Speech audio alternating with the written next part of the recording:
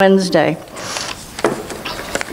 Tonight's speaker, Gibor Basri, received his uh, Bachelor of Science in Physics from Stanford and his PhD in Astrophysics from the University of Colorado. A Chancellor's Postdoctoral Fellowship Award brought him to UC Berkeley in 1982, followed by a full professorship in 1994. He worked on high energy observation of newly forming stars and later became an early pioneer and world expert in the study of brown dwarf planets. He's a co investigator on the Kepler mission and serves on the board of the Chabot Space and Science Center. Um, this is uh, the third time that Gibor Basri will be speaking to us. He talked to us in 2006 and again in 2013. Tonight he will discuss whether red dwarf planets are habitable. Most of the news about um, exoplanets over the past year or so has revolved around the idea of Earth-sized planets in the habitable zone of red dwarf stars. Professor Basri will talk about these discoveries, give a background on red dwarf planets, and concentrate on the current thinking about whether a planet around object number 2027, which is a red dwarf, could in fact actually harbor life. This question is still a very active one, and we will learn why and how research is evolving. Join me in welcoming Professor Gibor Basri.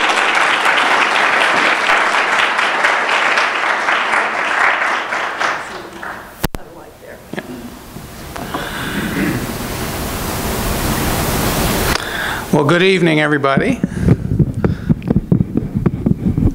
I like to move around a little bit. thanks, thanks for coming out. So uh, Linda gave you the abstract for my talk, and you've been looking at all this stuff here. So I guess I'll just launch in. Let me just say uh, that I do encourage questions during the talk. Uh, often this talk gets so many questions that eventually I have to stop encouraging them, but that doesn't that doesn't matter. We'll and, and I'll, I'll, of course answer questions afterward as, uh, as well. So let me first uh, say a little bit about red dwarf stars. Um, these are easily the most common kind of star that there is. So people like to say our sun is an average star. It's not. Our sun is is uh, larger than average, brighter than average and not that common.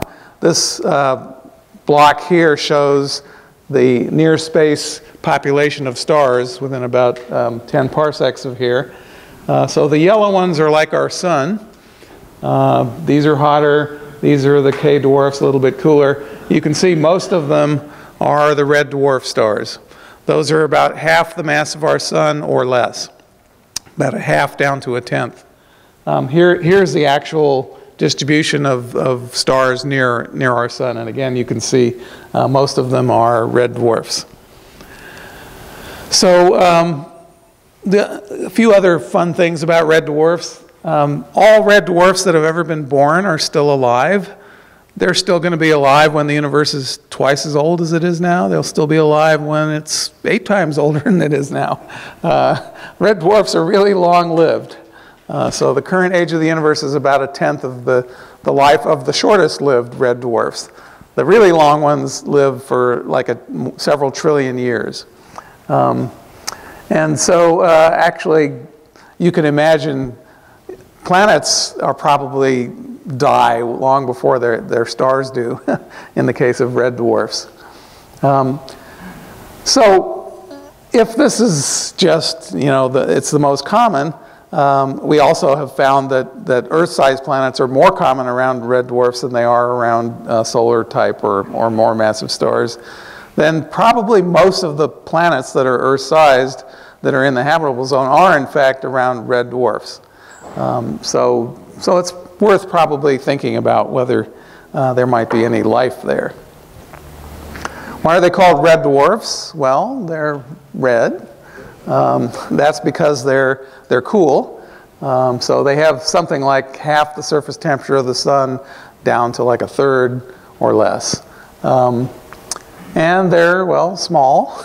Um, so the mass and the size of the star are kind of fairly well related in, the, in this realm. So if it's half the mass of the sun, it's also sort of half the size of the sun, um, and so on. Uh, the, the, big, the big difference is brightness or luminosity. So red dwarfs, uh, although you know it may be half the mass of the sun, it might only be a, hun a hundredth the brightness of the sun. And so red dwarfs are somewhere between a, a hundredth and a ten thousandth as bright as our sun. So the ones that are a tenth solar mass are, are this only this bright. And that means that if you want to have a planet that's at a comfortable temperature, you need to bring it much closer to the star uh, to get that temperature, just because these red dwarfs are very, are very faint. So that you know the biggest thing about them isn't isn't so much that they're cooler or smaller. The big the biggest thing about them is they're much much fainter. Um, so here are some actual scale uh, pictures of some famous red dwarfs. Uh, this, this is actually the closest star to us. You probably have heard that Alpha Centauri is the closest star to us. That's actually a binary star, so there's Alpha Cen A and B. Uh, but there's a third star that moves through space along with that, that binary pair, and that's a red dwarf, and it's called Proxima Centauri because it is, in fact, nearer to us than, than the, the solar type pair. So here's a picture of Proxima Cen. Um, here is a picture of a planet that was discovered in the last year and a half or so around Proxima Cen. Uh, here's the Earth. Um, here's the Sun to the same scale. So you can see Proxima is not very big. In fact, this is Jupiter and Saturn also to the same scale. So these red dwarfs are really not much bigger than our giant planets. In fact, some of them are, are pretty much the same size. Here's, here's another one that you may well have heard about. It's called TRAPPIST-1. Uh, you know, the, the, names of these things, Proxima Centauri is a name that's been around for a long time. TRAPPIST-1 was a name that was given to it by its discoverers. Um, they, they have an acronym that TRAPPIST spells out, but really uh, it was named after Trappist beers. The Trappist monks in Belgium um, make this, this line of beers, and, and these are Belgian astronomers, and so that's really what, that's really what it's about. um, and it was the first, first uh, object they found that this was a search for, for transits around red dwarfs. Um, that one is, uh, is, is about a tenth the, the mass of the sun, so it's really not much bigger than Jupiter. And here are its planets, uh, again, to scale. Uh, and here are Jupiter's moons also to scale. So uh, the, this system actually isn't that unlike the Galilean moon system, except that these are Earth-sized and slightly larger um, planets. Okay, so how, how do we find planets? Um, well, the main way now is through using transits. I, I, imagine pretty much everybody knows what that means, so I won't dwell on this. It's, you really, of course, you don't see the disk of a star for any star except our sun. What you do is you measure the brightness of it, and if a planet crosses in front of the star, the brightness drops while the planet's in front of it. That, that's the transit method. Uh, and this, this is all you see, you don't see this. But you know, if you, if you could see Jupiter transiting the sun, it would look something like this. Uh, this is actually Venus transiting the sun. So that's an Earth-sized planet transiting a solar-sized star. Um, the change in brightness that you drop here is just the area of the planet over the area of the star. So for Jupiter, which is about a tenth the size of the sun, that's a 1% drop in brightness. That's pretty easy to measure these days. But for an Earth-sized planet, it's a 10,000th. So, so the brightness of the star only drops by one part in 10,000. If you want to measure that, your, your accuracy had better be, you know, a few parts in 100,000 uh, in order to deal with noise. So you have to go above the Earth's atmosphere to do, to do that. Our atmosphere is just too murky for that kind of measurement. Uh, the other thing about this is, if you, let's say you were on some other star system trying to measure the Earth, uh, so you'd see this drop of one part in 10,000, you know, and then you'd have to wait for a whole year, right, for the Earth to get back around and transit the star again. So, and the, all, basically all planetary transits last for a few hours. So the duty cycle is very, very low for that situation. Uh, and if you're trying to do that from the ground, you know, half, first of all, half the time is wasted because it's daytime. You can't measure the star. And then you got clouds and all kinds of things as well. So it turns out that it's quite difficult to do this from the ground, although these, these transit surveys just pound away at it and they have had some success. But if you get into space, uh, it's way, way easier. Um, but this is still kind of tough. So, but now it was, it was the area of the planet divided by the area of the star. So now if we go to red dwarfs, the star got a lot smaller. So this could also be a picture of an Earth-sized planet transiting a red dwarf. And, and now you see, again, it's 1%, so it's easier. So that's one reason why we uh, know a, a bunch of Earth-sized planets around red dwarfs. They're easier to see. There's another reason, which is uh, for the planets in the habitable zone. I said the planet needed to be a lot closer to the star. That means its orbital period is going to be faster. So now the duty cycle isn't a year, it's maybe a couple weeks. Um, and that really helps as well. So for those two reasons, um, a lot of the discoveries of Earth-sized planets in the habitable zone are around red dwarfs, just because they're quite a bit easier to find. Professor, what's the yeah. definition of habitable zone? Oh, we're getting there. Just hang on to that one. Uh, okay, so the, you know, the main transit mission to date has been the Kepler satellite. It's actually still operating today. Um, this is the basic result from Kepler. So before Kepler, we knew mostly about these kinds of planets, and Kepler had the sensitivity to get down to Earth-sized planets. Uh, it was, you know, that was tough even for Kepler. So the reason why there aren't so many down here really is that Kepler couldn't really see them very well. Um, so we actually think there's a ton of them down here as well. Uh, we just couldn't detect them. But you can see there, there's a huge mess of planets uh, in the size range between Neptune and Earth. We don't have one of those in our own solar system, but they're very common. So, I mean, in that way, we're a little special, I guess. Um, and if you look at the frequency of planets, well, that's a little tricky. So first of all, uh, most planets do not transit their star, right? The, the orbital plane isn't exactly lined up with us. Uh, so, but you know what the geometrical correction for that is. Um, and then, you know, you, you know, you don't know, you don't, uh, you can see them much more easily if they happen a lot than if they happen rarely, and so on. So people work on correcting uh, the number of planets that Kepler actually saw to what the real frequency of planets is. Uh, it's still, still a little bit of a game, but um, all, all, I want to point out here is uh, these numbers here are sort of 10 to 20 percent. Um, and also the, the size here, this is sort of, um, well, this is sort of Neptune sized. These are these uh, sort of between Earth and Neptune planets. This is Earth-sized here. Um, but the other thing that um, you need to know about this is this is just for planets whose orbital periods are 100 days or less. So the other problem Kepler had is, you know, it was up there, sorry, up there for four years. Um, we wouldn't really believe a transit unless we saw it three times. Uh, and so you really couldn't detect, you could barely detect planets that have a one Earth year orbit. So it was much more sensitive to planets that had short orbits. Um, so this is the frequency of planets in short orbits. That doesn't mean there aren't planets in longer orbits as well. So, you know, the bottom line of this is most stars have planets. And when people did this exercise just for red dwarfs, they concluded that sort of every red dwarf has planets. And many of them are Earth-sized. So again, I just want to emphasize they're very, they're very common.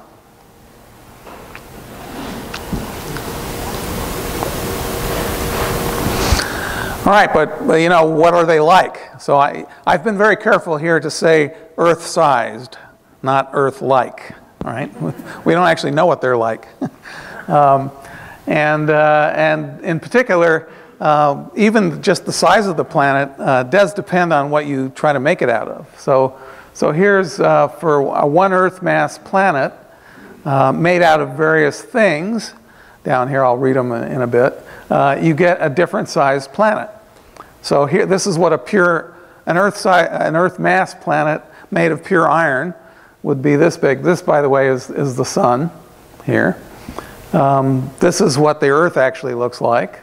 Uh, here's if you make it out of pure carbon. Looks kind of the same. Uh, th- here's if you make it out of pure water.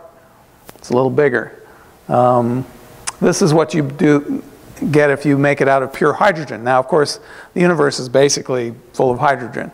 Um, but we do we think that it's actually hard to make an Earth mass planet out of pure hydrogen. That's that's actually it's actually hard to collect the hydrogen on such a small body, basically. Um, so if we go to five Earth masses, uh, here's the same set of compositions, and you can see, you know, this is about the same size as that. So you're not sure, uh, just ab initio, what you're looking at when you see a planet of a certain size. Well, you, you, yeah, question. Are you able to determine the, the mass of the planet by the... you guys are you guys are just ahead of me. yeah, so it would be really nice to know the mass of the planet exactly. um, and and the original way of finding um, planets around other stars was actually this method. So the idea here is uh, if you have a star and a planet, uh, what happens is the planet orbits the star, but really the star also orbits the planet, or more technically correct, they both order, orbit their center of mass. Now, the center of mass between, say, the Sun and Jupiter is inside the Sun. Uh, between the Earth and the Sun, of course, it's practically at the center of the Sun because the mass uh, difference is so large. Um, but the, the star does move and, uh, and it moves at a rate, sort of at the rate you, for Jupiter around the sun, the speed of the sun around its center of mass is kind of, you can, I could drive faster than that in my car, basically. Um, so it's hard to measure, but you can measure it with, with the Doppler shift. So basically we take a spectrum of the star, and to the extent that it's moving, the, the spectral lines will shift back and forth a little bit, uh, not much. It's, it's actually about a part in 100,000. so it's a very delicate measurement. Uh, and that was what made it not happen until uh, the mid 90s. Um, but once you get that, uh, you can measure the mass of the star, or at least the, the mass of the star in the plane of your sight. So, so you could, if you imagine you're looking at a star and the planet is going around it and you're looking down the pole, uh, then all the motion of the star is not towards or away from you, and so you don't get any Doppler shift. Uh, and so this method also has a has a um, ambiguity, but you don't have that ambiguity if you have transiting planets, because now you know you're in the orbital plane of the planet. Otherwise, it wouldn't transit. So that removes that ambiguity, and you do get actually the mass of the star. I mean, of the planet uh, from this method.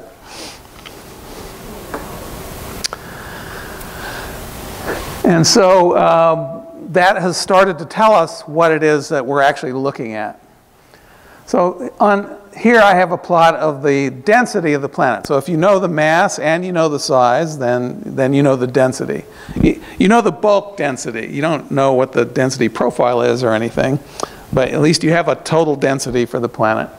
Um, so this, this uh, red line here is if I build up planets the way I built up the Earth, um, this is how the density would go up with the size of the, of the planet. Why does it get denser? Well, it's a heavier thing, it's got more gravity, it kind of crushes itself more. And so as you add more mass onto a, a planet like the Earth, um, it does actually get somewhat denser. So um, here's the planet radius. This is uh, one Earth radius, here's one and a half Earth radius. And the density uh, of the Earth is sort of here. Um, and it, these are measured densities, the, the, blue points are measured densities of exoplanets that are, that are this size, okay? And what, what was found is you get up to about one and a half times the size of the Earth, density goes up, and after that, uh, the density goes down as the planet gets bigger. So that's not Earth-like anymore. Uh, something, something is going on there. And in fact, it goes down pretty fast. So by the time you get to two Earth radii, uh, it's down here, and three Earth radii, it's down here. And basically, Neptune is sort of over here. This is Uranus and Neptune, these two diamonds here. Um, so what we think is, at this point, uh, up to about one and a half times the size of the Earth, you're talking about a terrestrial planet. And, you know, the mass of that planet could actually be uh, several Earth masses here. Um, but it's still a, kind of a rocky planet. But if I go uh, to two Earth, Earth radii, I'm not looking at that anymore. The only way to really make the density drop like this is if I do have a, a you know, a, a, massive planet there uh, made of rock, if you like. However, on top of it, I put some hydrogen and helium. It, turns out it doesn't take much. I can take 1% of the mass of the planet and make that be hydrogen and helium, and the radius now is bigger because I can't see through that, that hydrogen envelope. So remember, with a transit, you're just measuring the size of the thing that's blocking light from the star. So you can block light from the star with an atmosphere as well as you can block it with, um, with rock. Um, and so now we would say uh, these are our mini Neptunes here. And these are super Earths over here. And I mean, actually, there's not much super Earth space because that's already Earth. so between here and here is super Earth. So you can get a, a one and a half Earth radius super Earth, and that's about as big as you can go. And then to make it bigger than that, you have to add hydrogen, and then it, it it's not really a super Earth anymore. Um, it's a mini Neptune. And those are not uh, interesting in terms of, of habitability. Okay, so so once you get there, uh, the, if you ask yourself, what's, what's it like at, you know, at the surface, that is the rock surface of the, of the planet, um, there's enough atmosphere up there that the pressure at the bottom is, is um, thousands of times what it is here on the Earth. And in order to sustain that pressure, uh, the temperature has to get much, much higher. So, so at the bottom, the temperature, uh, bottom of the atmosphere, the temperature is going to be thousands of degrees, and the pressure is going to be thousands of bars, and that doesn't sound too good. So we really don't think uh, any planets like that would have any life on them, uh, and that's all of these. So, so when people publish, when you read the paper in the future and they, they oh, we found a, you know, an Earth-sized planet, it's, it's, just two Earth radii, and you know, it's, it's, in the habitable zone, you can say, well, yeah, but it's not habitable. uh, it's, it's nasty. Uh, if, you, if, you, if you have too deep an ocean, you get the same sort of problem as well. All right, so I've been talking about habitable zones. Let's, let's be a little clearer about what we mean by that. Um, I was just at a conference last week uh, with the Breakthrough folks, and there was real strong consensus that we should all just stop talking about habitable zones altogether because, um, as you I'm sure know, there are all kinds of places we think about habitability on, like, for example, Jupiter's moon Europa which is completely not in a habitable zone, right? But it's got a, it's an icy moon, it has a warm ocean underneath, and stuff could live there. Um, so what, what do we really mean by habitable zone in this context? What we really mean is if you, if you took the Earth and you put it in this zone, it wouldn't get totally wrecked. That is to say, it wouldn't freeze over completely, and, it, and the oceans wouldn't boil off either. Um, so it's habitable in that sense. So it's kind of like a, a Goldilocks zone. Um, so you know, it's not too hot, it's not too cold, it's kind of kind of just right. Um, however, that's for the Earth. If you put something else there, uh, you know, as I just said, you know, if it's a two, two Earth radius thing, it's not habitable anyway. It doesn't matter where you put it. Um, and so uh, this really has a pretty limited meaning. But and, and, we don't know what any of these planets' atmospheres are like or, or what, what, how much water they have or anything. So when people say, I found an Earth-sized planet in the habitable zone, you can say, oh, that's, that's nice. I, I wonder what it's like. Um, because we really don't know yet. Okay, so. Um, it's been around for a long time because as people started thinking about, you know, life on other planets, the only kind of life we know about is, is Earth life. And so we thought, well, you know, it'd be nice if it was Earth-like. and it won't be Earth-like if it's not in a habitable zone. So, so that's, you know, that was sort of the argument. But now, the, this was actually before people had discovered all the extremophiles on the Earth, for example. So now we know there's life, you know, three miles underground in the middle of rock. There's life in volcanic vents at the bottom of the sea. There's life in, you know, boiling pools in Yellowstone that are full of acid. So those didn't sound too habitable either, but they are. Um, so again, we don't, the biology part of this is not, you know, we, we don't know what we're talking about. Um, but you can still think about, okay, well, you know, would, if I put the Earth there, would it, would it be habitable? Um, and uh, that depends on how much energy the planet's getting from the star. And so for a sun-like star, you know, there's a certain zone. If you go too close, it's too hot. If you go too far, it's too cold. Again, um, we don't really know what we're talking about. So this, people draw the habitable zone for our solar system sort of stopping just around Venus because we know Venus isn't very habitable. Actually, I, I, shouldn't say that. So at this conference last week, uh, this was a, you know, one of those speculative conferences, people were really talking about life on Venus. Uh, you may be surprised to hear, uh, in the clouds. So it's actually true that, that if you go up 30 kilometers from the surface of Venus, you're in thick cloud. It's uh, kind of room temperature. Um, there is um, there's a lot of chemicals there, not so much water, but you know there's acids, and as I said, some organisms like acid. Um, so they, anyway, they're talking about that. As soon as you start talking that way, of course, you can talk about life on Jupiter. That's also got thick clouds at room temperature. There, there is plenty of water and also a lot of organic material. So if you're going to go that way, you know, I, frankly, Jupiter is more habitable than Venus, but okay. In terms of the solar system, if you took the Earth and you moved it, you know, to, to where Venus is, uh, it wouldn't look like Venus. Uh, Venus has a different atmosphere than we do, quite, quite different. And I'll get back to that later. If you took the Earth and put it where Mars is, it'd be cold, uh, but it wouldn't be nasty like Mars because it has a nice atmosphere at least, and Mars doesn't really. And I'll get back to that point as well. Um, so habitable zones are, um, you know, they're an interesting construct, uh, but don't take them too seriously. I guess the other point I want to make, though, is because red dwarfs are so faint, the habitable zone is really tiny compared to other stars. So that's something to keep in mind.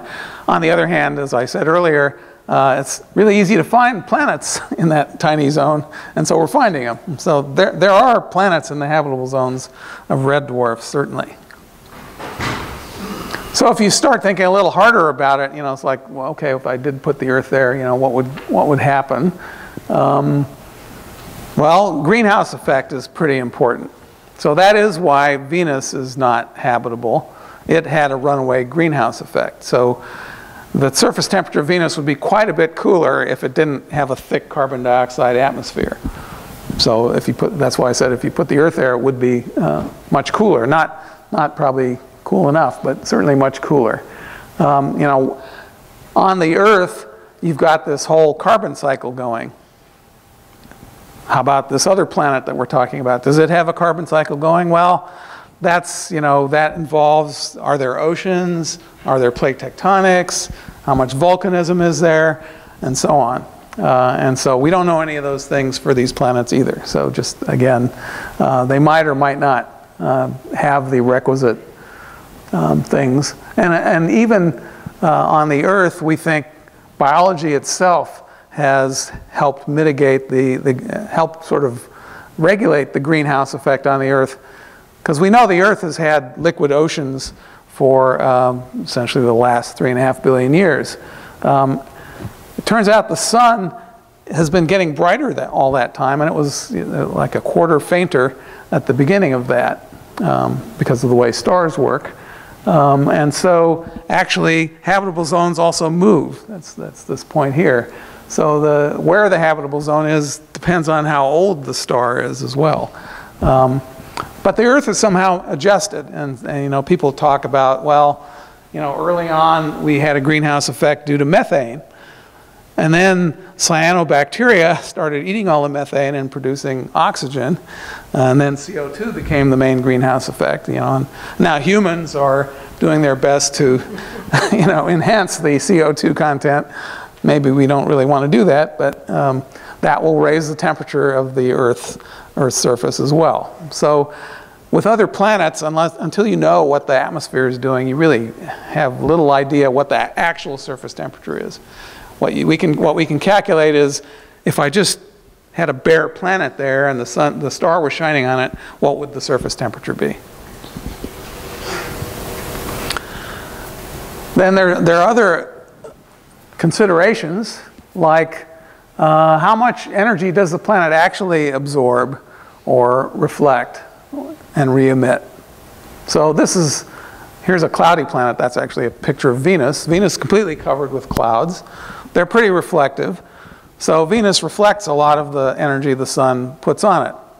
Nonetheless, it's real hot, and that, but that's because of the greenhouse effect. Okay. Um, well, this is a, an ultraviolet picture of Venus. Actually, if you take a, a visible light picture of Venus, uh, it looks really blank. It just looks white because it's very reflective in the visible. Uh, it's not so reflective in the ultraviolet, so you can see cloud features here. What about red dwarfs? Well, if, here's, here's the visible part of the spectrum. So the, this is the, between here and here is where your eye works. And this is also the, uh, the black curve here is where the sun emits. No particular accident, presumably, that our eyes work where the sun emits, right? Some evolution probably had something to do with that. Um, this is a red dwarf. So uh, this part of the spectrum here, your eye doesn't see at all. This is the infrared part of the spectrum. Most of the energy from a red dwarf actually comes out in the infrared. So it would look kind of orangey to your eye, but you'd be missing most of the light from the star. Uh, most of that would be in the infrared where you, you, you wouldn't see it. How would the planet look in the infrared? That's the relevant thing to, to, to figuring out how reflective are the clouds and so on. And so here, here just for fun, is the reflectivity of some various things, also as a function of wavelength. Um, so this is the visible part. So let's take snow, for example.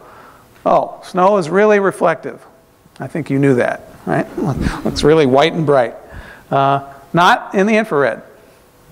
The reflectivity drops down, way down here for snow. Snow looks black to infrared light.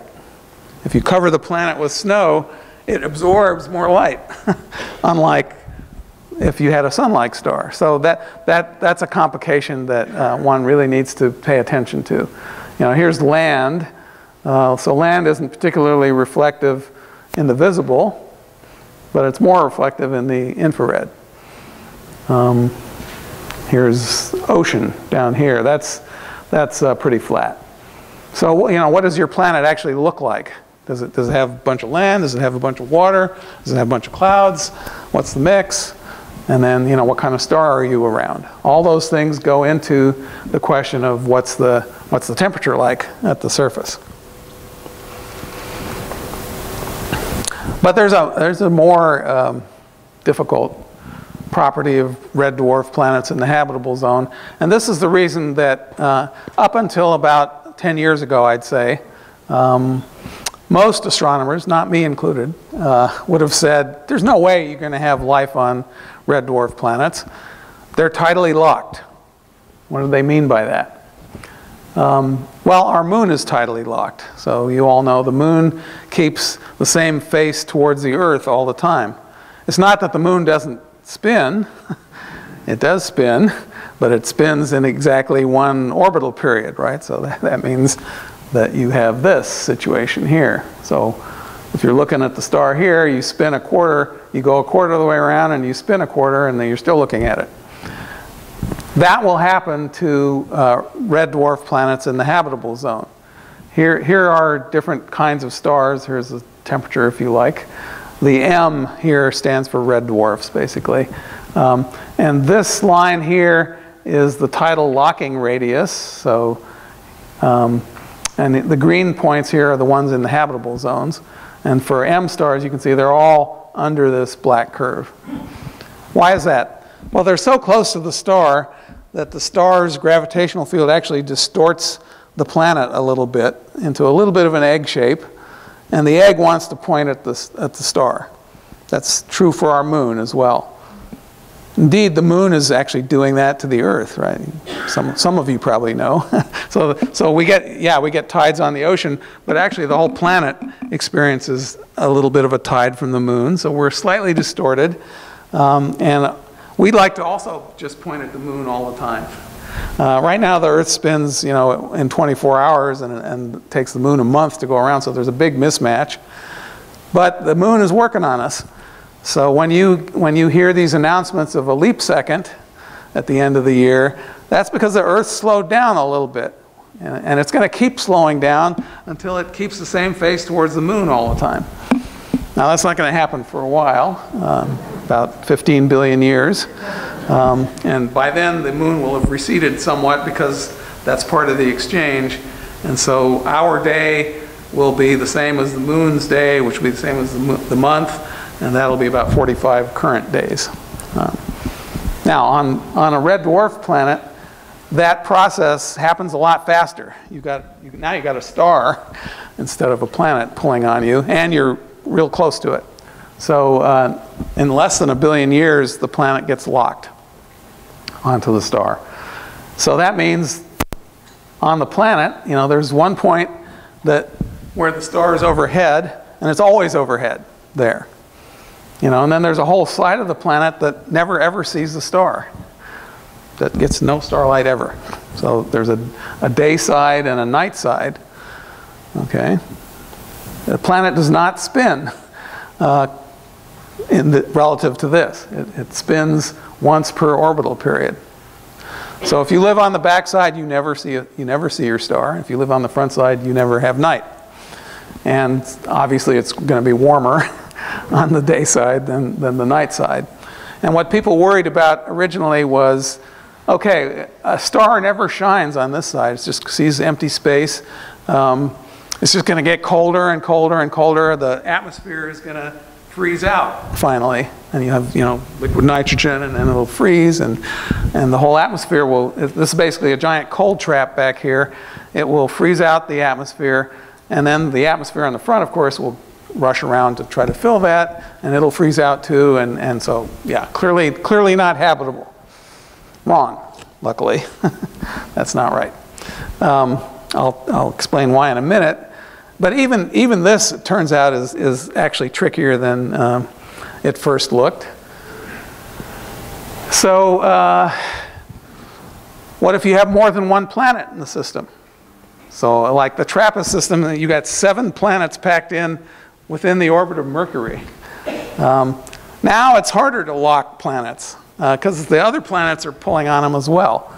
And in fact, uh, you know, those of you who are sophisticated know that Mercury has this weird spin resonance, spin orbit resonance, where um, every full Mercurian day is two Mercurian years long. So tidal lock means one day is equal to one year. Here, one day is two years. It's a strange two, two to three resonance caused by Venus and the sun. Um, so that's fun. Uh, but but that's, that's because Venus is there, right? Uh, in the TRAPPIST system, all the planets are pretty close to each other. They're pretty massive. You know, several of them are more massive than the Earth. Uh, this is the sort of orientation of the planet um, uh, over time.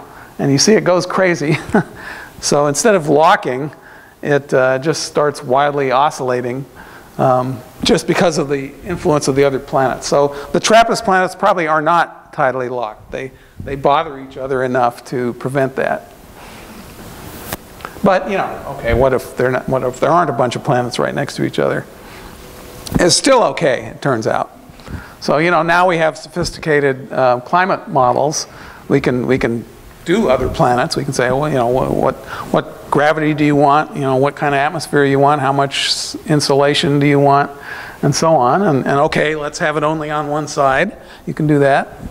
Um, and now the models tell us that uh, even a one Earth atmosphere will uh, redistribute heat fast enough to stop the backside from freezing out.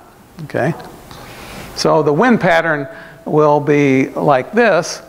Um, so you will have a hot spot on one side, and you know it'll be cool on cooler on the other side, um, but it will not freeze out the planet. Okay, and in fact, uh, there's a way to actually measure uh, these models, not for Earth-sized planets yet, but for Jupiter-sized planets that are close to their stars. We, uh, the ones that transit.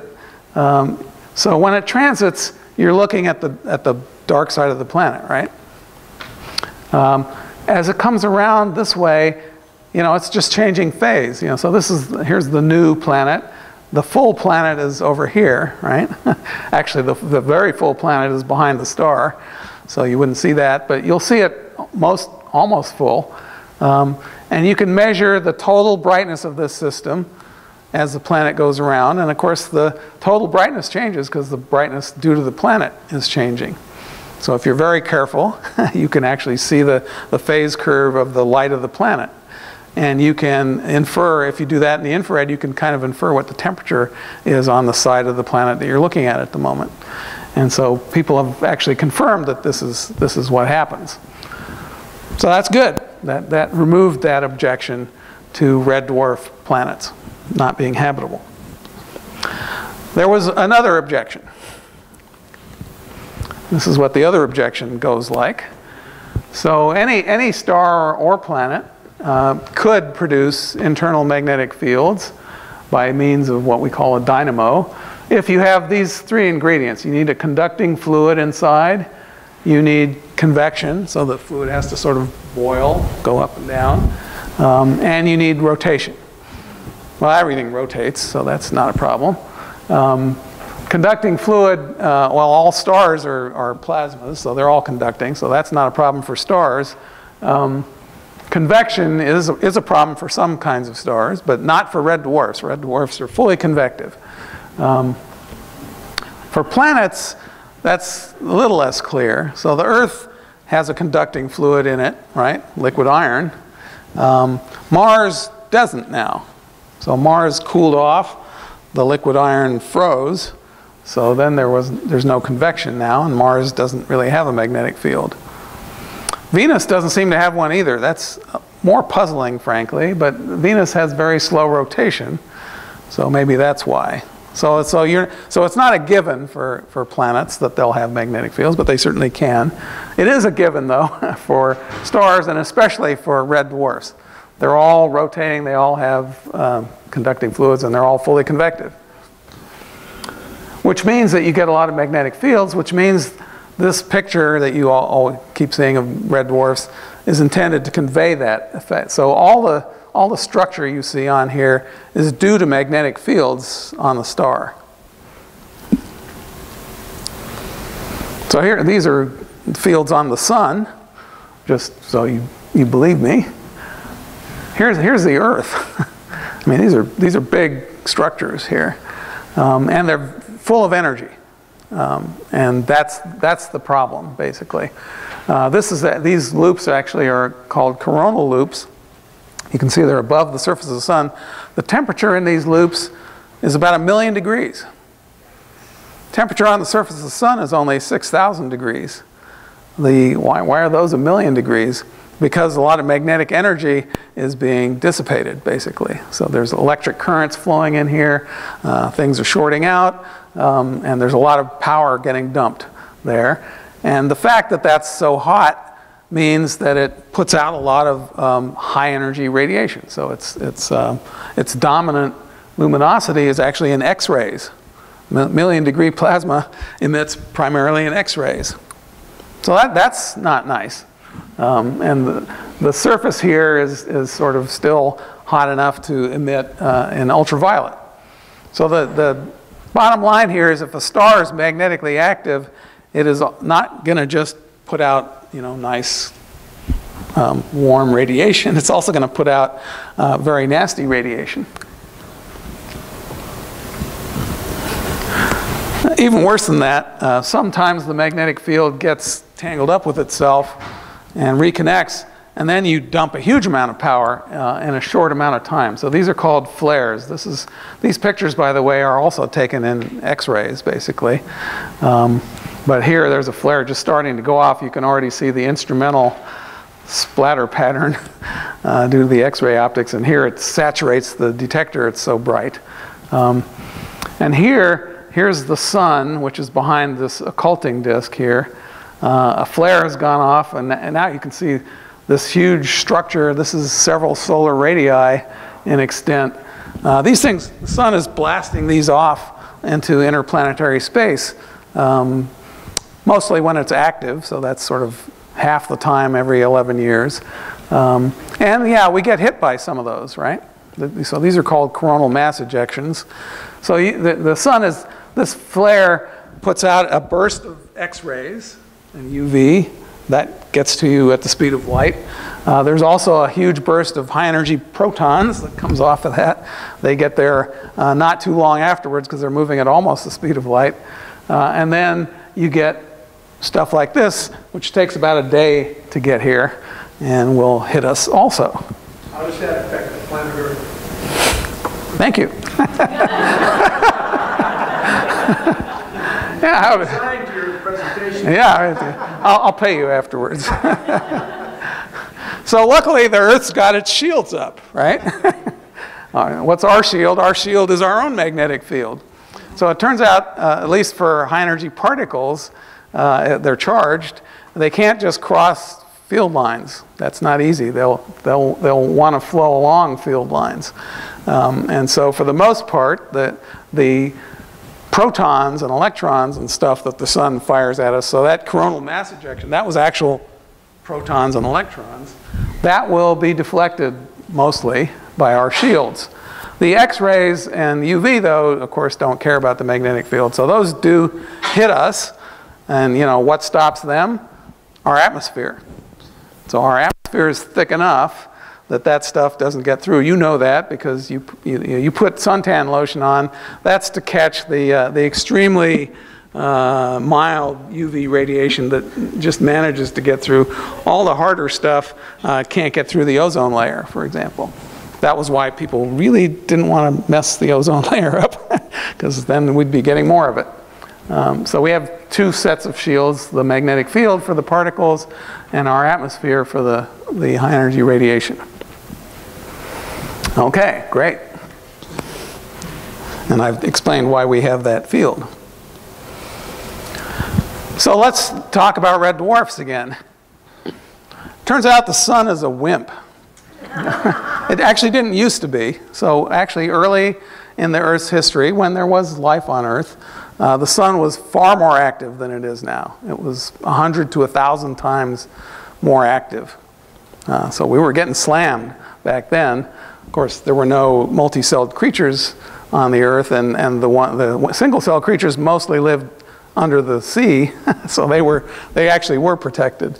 Um, for younger stars and for red dwarfs, uh, you, you can get like a thousand times as much activity, okay?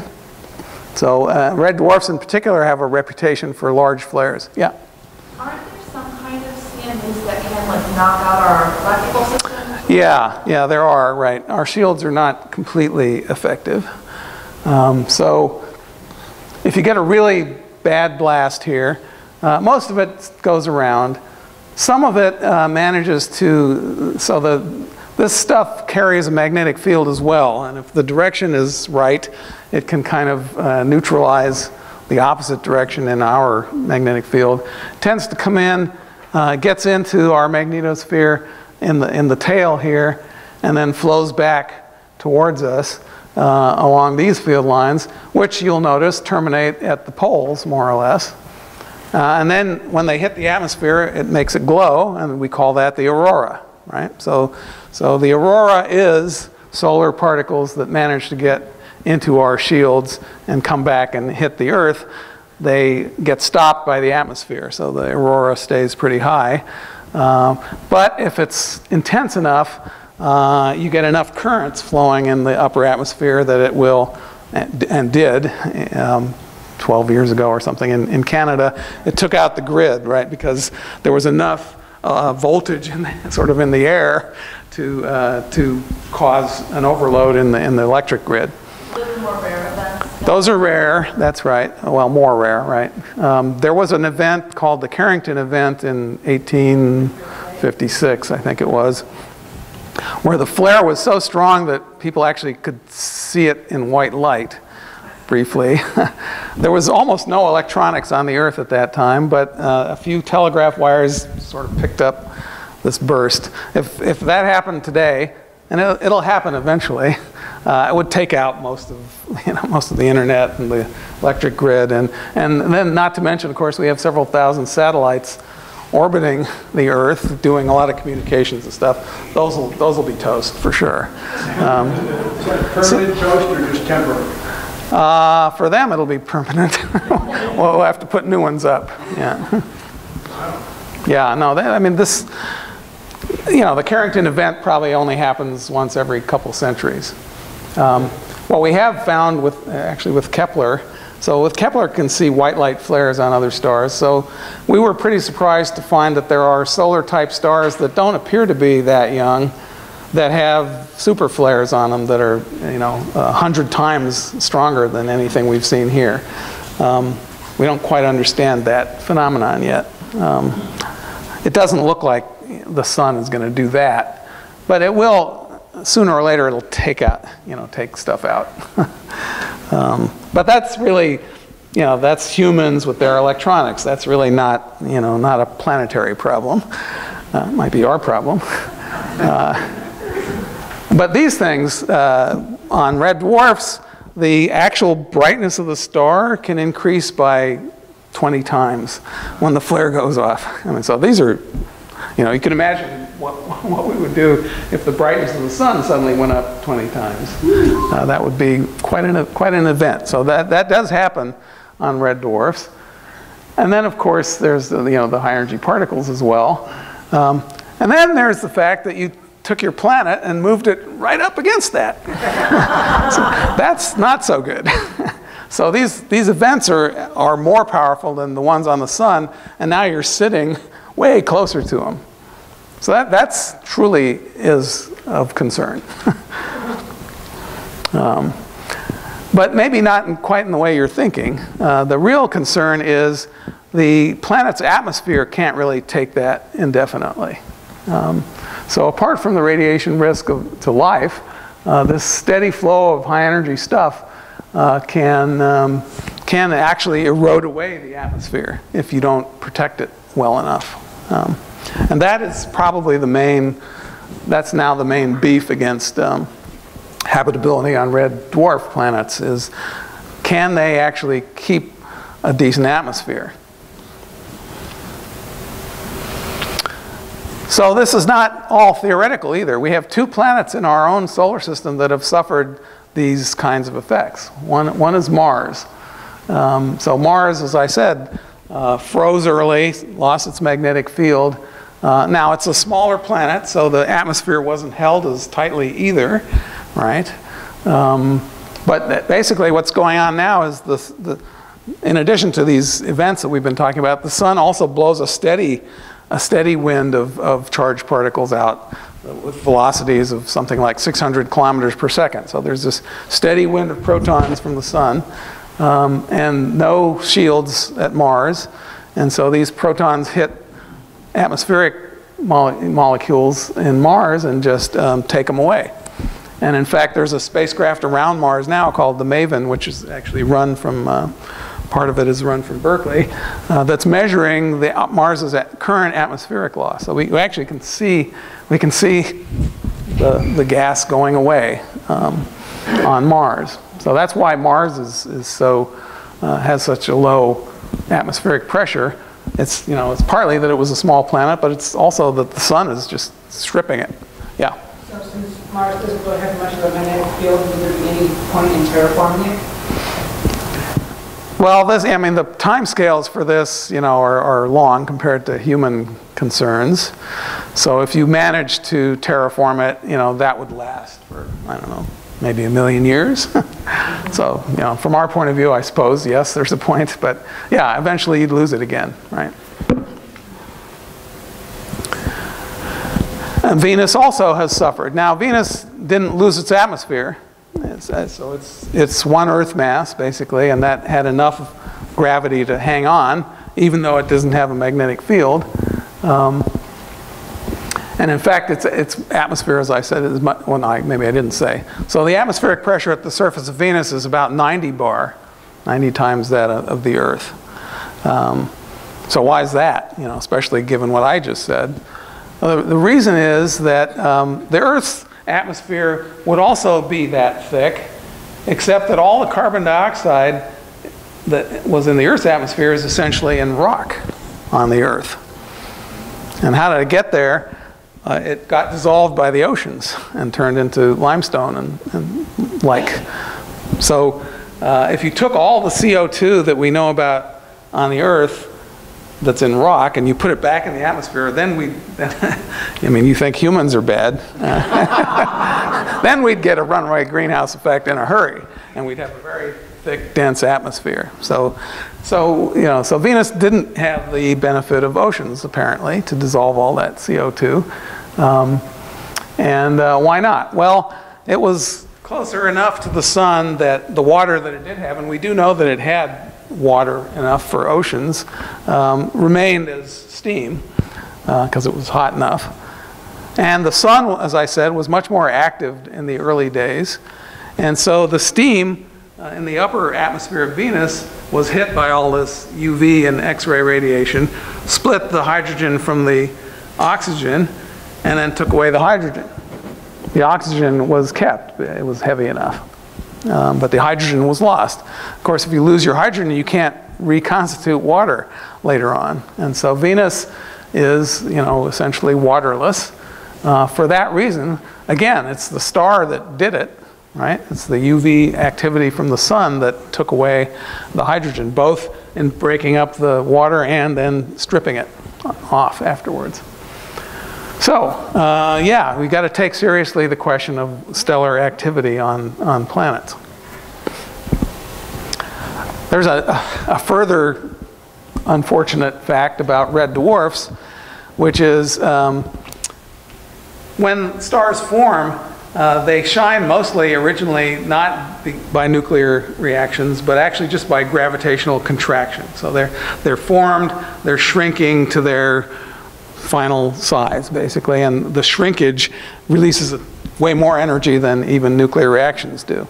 Um, and it, red dwarfs, it turns out the smaller you are, the slower you shrink. uh, so that means that, um, you know, here's, here's the sun's history. This is the fractional luminosity compared to its sort of resting luminosity. So we're, we're at one now. And this is millions of years here. This is zero, this is 50 million years, 100 million years, 150 million years. So the sun drops like a rock, basically, and after 10 million years or so, it's at its final luminosity, pretty much. Not so for red dwarfs. Here's where you make rocky planets. And so um, so you have a problem that in here the star is brighter than it's going to be later, super active. This is the most active magnetic time for the star in its life. Um, and, uh, and you make the planets while that's still happening. And so you can, you can um, so, so what's going to be in the habitable zone when we're looking at it now is not in the habitable zone then. It's too hot then, and so the oceans wouldn't be able to be liquid. If they're, if they're able to be liquid now, they would not be able to be liquid then. If you want to be safe, you've got to come out here, but then they're, they're liquid then, but now they're going to be frozen because the, star got dimmer. So that's, that's the other sort of issue uh, with red dwarfs is they, they contract slowly enough that it really presents a problem for the early planet. So is it possible for planets to form further out? Sure. Over the billions of years, get to a closer orbit? Oh, well, yes, that's probably possible in some cases. We certainly see a lot of planetary migration in the first few hundred million years. So yes, that, that's possible. I'll, I'll come to, to uh, ways around this shortly. shortly. okay, so just, just to, to say, the most serious problem for habitability of red dwarfs that we know of at the moment is this water loss problem, okay? So they stay hot too long, they, the water can't condense, they're irradiated by super intense UV and X-rays. Uh, we actually see planets losing tons of hydrogen, you know, in our telescopes. Uh, this, is, this is a spectral diagnostic where it's basically the hydrogen line uh, from a star. Uh, and just all you need to see is that this is for three different loss rates. You'd get this curve or this curve or this curve. And the data, you know, is on this one. And that's 10 to the 10 grams per second uh, coming off to, to give you that, that spectral line. So, so we actually see, we see these uh, tails of hydrogen you know, being stripped off of planets. Uh, so it's not like this doesn't really happen. All right, so, so do we give up on red dwarf planets? Well, nah. I mean, we're pretty creative. Nature's far more creative than us anyway, but, but I can even think of ways around this, right? So, um, so let's bring the water back later. Uh, go ahead, let the star strip it, right? Uh, and then you can, you can have a lot of comet impacts later on and put the water back. Um, that might be a reasonable possibility. For example, you know, in our solar system, Jupiter cleared out most of the comets. But in red dwarfs, uh, Jupiter-sized planets are quite rare. So the typical red dwarf system has Earth-sized planets and maybe some Neptunes, but no Jupiters. So there are probably a lot more comets still left in the in the disk. Um, now, of course, you don't want to be on the planet while that's happening. so, so I guess we have to wait. You know, to we'll resupply the water and, and let things calm down, and then we'll have life. But remember, we have you know 100 billion years to, to do this. So, um, or uh, you know, probably even more easy is just just have uh, a lot of water stored inside the planet and then put it out uh, through volcanoes later. It's a it's a remarkable fact to me that we don't actually know the water content of the Earth's mantle the geologists are still arguing, and they're arguing within an order of magnitude or so. So we really don't know what it is, but the, there's water in there, and um, and it can come out later like that. So that that's an easy solution. So you let the star settle down, and then uh, and then put water back in the atmosphere. Or, as, as you suggested, uh, maybe you could migrate the, the planet inward. Or, uh, here's a good one. Uh, we had this problem earlier, but let's use it to our benefit, right? Maybe you have uh, a mini Neptune to begin with. Let the star go at it. Tear off all that hydrogen, or almost all the hydrogen, right? Uh, and just leave enough for a couple oceans. Um, so, you know, that would be more contingent. Uh, but this is also observed now. We, we actually see there's sort of a, a, a valley of size in planets when you get to a certain distance from the star where it looks like um, those planets that are there are they're smaller because they've had their hydrogen stripped. So the, the, the, statistics are such that they look like they were mini Neptunes, but they look smaller. Uh, and so apparently stars do strip, you know, hydrogen envelopes off of mini Neptunes. And in fact, we actually see that in the planet statistics. Um, so if you do it the right way, you could end up with a, with a decent planet later on. All right, so, so we're near the end now. Um, are they nice or not? Are red dwarf planets habitable or not habitable? Well, um, you know, probably some of each, right? Um, uh, we can come up with scenarios where they're good. We can certainly come up with scenarios where they're not good. Uh, you know, so maybe some look like that and some look like that. Um, so let's let's have a little fun here thinking about that a little harder. So, all these problems about uh, water and so on and so forth, they really actually only apply to the side of the planet that is facing the star, right? I mean, I can protect water easily by freezing it out on the dark side of the planet, and the star can't get at it anymore. And it's not vapor either, so I, I can't make it go away. So I can just have a big collection of ice on the backside. probably do on a lot of these planets, right? So, so it's, it'd be like extreme Antarctica, right? Antarctica does get some sunlight, a, a low angle, but it gets it six months of the year. Here, never a star, never. So, so I think you probably do have to think of the backside of M dwarf planets as, as being really, really cold, really frozen, dark, frozen. You know, does that make it uninhabitable?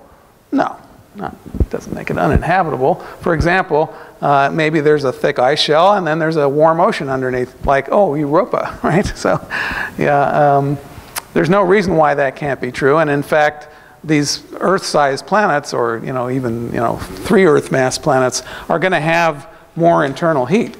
They, they're going to have plenty of internal heat for a long time, um, and that'll come out as volcanism. Um, and if you've got an ocean on there, even if it's frozen at the top, the bottom will be, be warm. Um, stellar high energy radiation, couldn't care less, right? You may not even care what kind of atmosphere you have, right? It doesn't really matter above the ice shell. Uh, what matters is what's below the ice shell.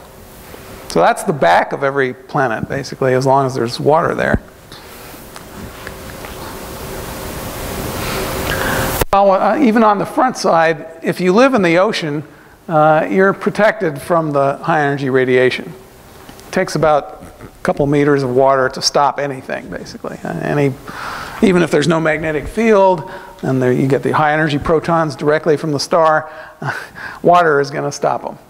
Of course, we've been thinking about that for astronauts going to Mars, for example. How do we shield them from the solar radiation? That one idea is, you know, you keep your water tank between you and the and the sun.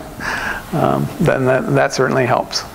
Um, and people have even talked about, you know, the fact that all this high energy radiation in the atmosphere creates all kinds of interesting chemistry. Now, you want to get it, then get it in the water before the, it gets torn apart some more, right? But it, you do get many more interesting combinations. Then, uh, you know, there's the, the, twilight zone, right? So, so it's too, maybe too hot here and too cold there, but what about in between? Now the star is, you know, always just on the horizon. So obviously the temperature changes from here to here. So somewhere in between it's good. Uh, you know, maybe that's the only zone on the planet where you have liquid water and life and so on, is in a, a thin belt right at the terminator. Thought?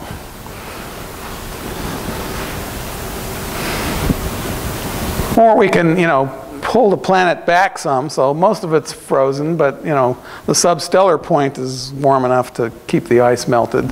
Uh, there's all kinds of scenarios, right? You can start playing with here. So I think the the um, the message I'm giving you is basically nature is very creative, and there are a lot of these planets out there, right? Most most stars are red dwarfs. Most of them have Earth-sized planets.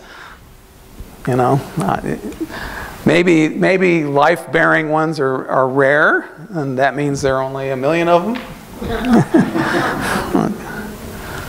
so uh, this is just a, a, a, little bit of a rogues gallery, sort of the best planets we have right now. Uh, Prox Cen b is really interesting because it's, gosh, right there around the nearest star. I, I have to say, though, that uh, we don't actually know the size of Prox Cen b. That was discovered by this Doppler method. It doesn't seem to transit its star, and so we don't, actually don't know how big it is, which should give you great pause, right? You know, so, so if it's three Earth, three Earth radii, forget it. But um, anyway, everyone's fascinated by that one right now. The TRAPPIST uh, system has seven planets, three of which look like they're a reasonable size and in a reasonable place as well. So that's, that's pretty interesting. And some of the other ones are these mini Neptunes, so they have plenty of water on them. So it's not like there's not water in this system. Um, so that's a pretty interesting one. Um, this is actually my favorite right now. So here we know the, the distance of the planet from the star. We know how bright the star is. We know the, how, the size of the planet because it does transit. And we measured its mass as well. and it all looks good. So this is called LHS 1140B. That was found last year. Um, And um, that one, you know, I I don't know of any objection to that one at the moment, other than all the objections that I've been talking about. Um, So, you know, we- you can dream. Um, Maybe, you know, this is a picture of, potentially a picture of Proc, B. So here's the Alpha Centauri A and B system. So that, that's a solar type star, or maybe that one is, and that one's a slightly less massive. And then here's Prox Cen itself. And as you may or may not have heard, you know, the, the breakthrough starshot folks are, are thinking about how to get there. Not for people to get there, but for a tiny chip with some interesting data, data gathering capabilities to get there. Um, and it's unclear whether it's actually technically feasible, but they propose to take a, a sort of meter square um, of material which is ultra reflective. it can't absorb hardly anything, and then hit it with a gigawatt laser. Uh, that's why you can't absorb anything um, for about five minutes, and then it will be going at about uh, fifth the speed of light, and it would take um, you know 30 years to get there. So that's you know if you if you could pull that off, we could you know be visiting Prox Cen uh, maybe by the end of the century. Don't count on it.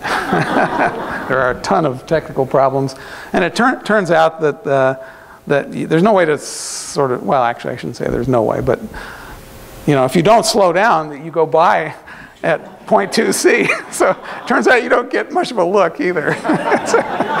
Uh, anyway, thank you very much.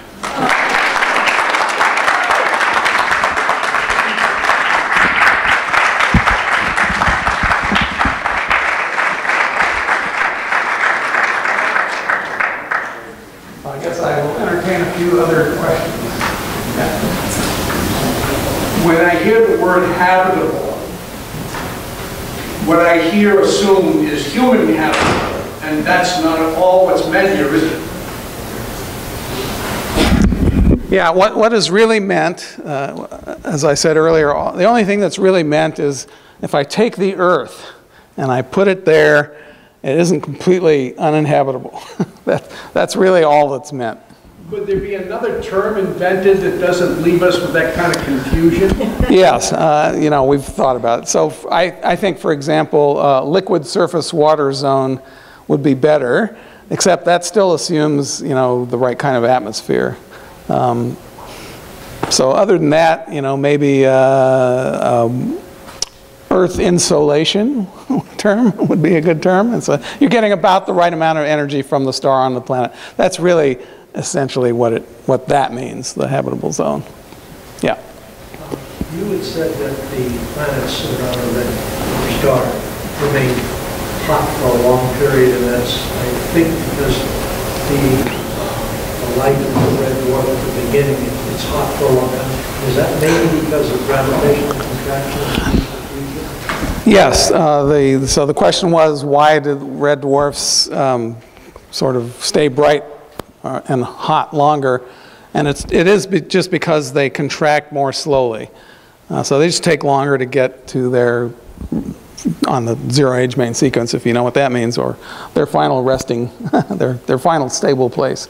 Takes, you know, um, 200 million years instead of 10 million years. So it's, it- it also has to do partly with, you know, I mean, their behavior, a lot of it, you know, is quite different than the sun. So the, the final luminosity is way lower as well. So it's just that the um, effect of gravity, uh, you know, has a big effect um, uh, with mass. The, just the way stars work has a has an outsized effect on how the, the luminosity of the star behaves. Yeah. Can you remind us also why red dwarfs have incredibly powerful flares? So why do red dwarfs have incredibly powerful flares? The, the main reason is that they're really fully convective stars, um, and they um, they also slow down more slowly They contract more slowly, they slow down more slowly, so they're spinning fast longer, which, and the faster you spin, the more magnetic field you get as well. Um, there, there's some complications there, but th- those are the two basic reasons. They're fully convective and they they're, um, tend to be more rapidly rotating, at least for a while. Yeah. So my understanding about the thinking on whether we can get to any of these planets is we can't. We sort of discussed that when we talked about the, the, the robot object. Yeah. Is that still the thinking? That like humans could never get there, it would take too long and there's no fuel or whatever? Right now, that's basically the thinking, yeah. right, right now, we have no way to get people there. Um, even, I mean, except, you know, if you want, you want to take a really, really, really, really, really long time. Then, then you could, you, your, your distant descendants could get there. Your grandchildren or whatever? Uh, you know, be far, far beyond your grandchildren. um, I, I, my personal thinking about that is that's, it's a dumb idea to send people there. Uh, either we, you know, have sophisticated AIs and we send them there, or you uh, just send DNA there with uh, a laboratory to reconstruct life at the other end. Uh, that's much easier. Uh, it takes way less life support and so on. so, so I, you know, if, if you were going to get people there, that's how I'd get them there. yeah. We talked a lot about, um, Heidel was talking that there are two types of atmospheres, the one in the front, the, the hot zone, and then the one in the back, and that there might be these Goldilocks and Twilight Zone. Doesn't that make the whole concept a little bit unsustainable? Um, if there are these habitable zones, like, would they even last long enough to do? Well, you, you have a good point, which I didn't talk about, which is that um, because I did say that the atmosphere is capable of redistributing the heat from the hot side to the cold side, that means you're going to get pretty nasty winds. and so, so in between, it's true that the stellar um, uh, energy might be a comfortable amount, but the, you know, what, what the atmosphere is going to be doing is moving the heat from the front to the back. Um, so, but you know, uh, somewhere there might be the right distance or, or level of stellar energy that that that is okay. It's sustainable in the sense that it's it's a pretty equilibrium situation. So the the star settles down, it's giving you a certain amount of energy. The atmosphere has to redistribute that. The planet's rotation is locked to the star. So everything's kind of stable in that sense. So whatever gets set up at that point is probably pretty stable. Uh, and whether it's nice or not, you know, is another question. Uh, you know, if you have an ocean, though, um, then that's better. So water will take heat much, much more easily, and um, you know, different depths in the ocean will have different conditions as well. So there, you may be able to find a, a good zone uh, that's that's stable. Here and then way in the back. Oh, yeah. What about the uh, smaller stars yet, um, the so-called uh, brown dwarfs? Uh, I don't know whether you consider these, or would- we would consider those stars because they don't really shine by nuclear reaction. But uh, would there be enough radiation or heat perhaps to support very close orbiting planets? So his question was, how about planets around brown dwarfs, which people are looking for. Um, and of course, I'm a brown dwarf expert. uh, so the problem with brown dwarfs is they don't have a stable luminosity. So they, they are constantly fading. So wherever you think it's nice, uh, after a while it's too cold. um, so you, yeah, they're not, they're not stable. They just aren't stable. Uh, you know, now what the time scale that, you know, it passes through a particular place is nice. Uh, you know, that's, it's probably not long enough for any interesting life to evolve. But yeah, so the basic problem with brown dwarfs is they just don't have a stable luminosity. Yeah. I'm trying to figure out how to make this into one question. Um, But before you mentioned how there's evidence for planets possibly migrating uh, afterwards, um, after collapse or something. And also, if I'm not mistaken, I'm looking into binary vast majority of our stars are a binary system. And then I wonder, you know, what is, how does that relate to the planets that are, like theorized to be the barycenter, like the intersecting orbits, and if those look habitable, do they, do they move to the barycenter? Okay, so uh, I'll try, I'll try to collapse that into one answer.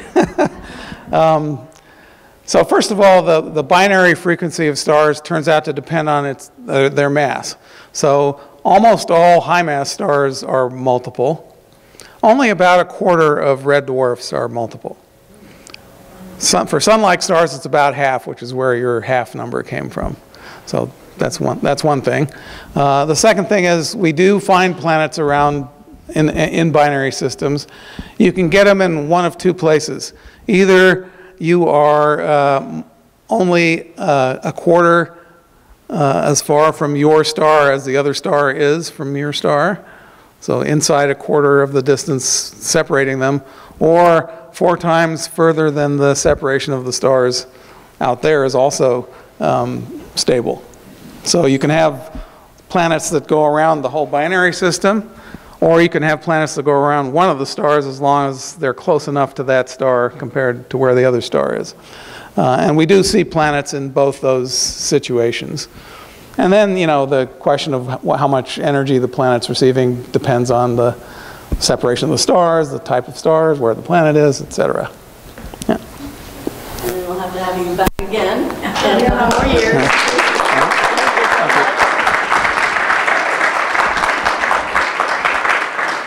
I, I will hang around at the back if you have more questions.